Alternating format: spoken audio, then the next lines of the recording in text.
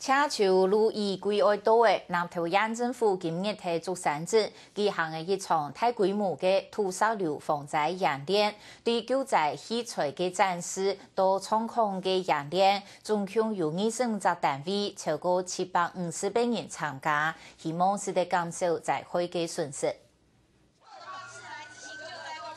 发生土石流，我不美拍。因为人体时间到现场，关键同最重要的一个一个救出来，做新嘅处理同急救。一条南条县政府判嘅土石流防灾演练，各种嘅灾难情景，考验嘅系救难人员嘅基本动作同应变嘅能力。透过当年嘅训练，可惜嘛收到效果。虽然这个财产、房屋、土地受了这么大的重创，但是我们人员没有伤亡，这也就是平常演练的结果。虽然透过防灾演练是有一定的效果，但是见到带头三期嘅人讲，无论是土石流，亦系讲推山，都系无法脱预测嘅。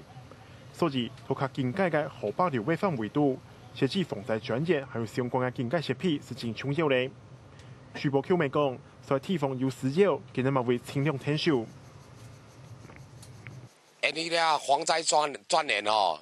地方我们冇办法啦，龙变下来哦，啊，俩居民唔知唔知我交回哪哪位啦。在浅市溪流或者危险地区的部分，那么需要我们协助的话，请你们可以打零八零零二四六二四六，我们会随时啊来提供相当的援助，以及提供啊相当的一个一些宣导资料。面对所多嘅疑鬼，相关单位已经都做好准备咧，但是带头三期嘅人。要做好心理准备么？因为是要自家较坚心掉，将系刺破清华的方法。客家新闻李凤琪南条报道。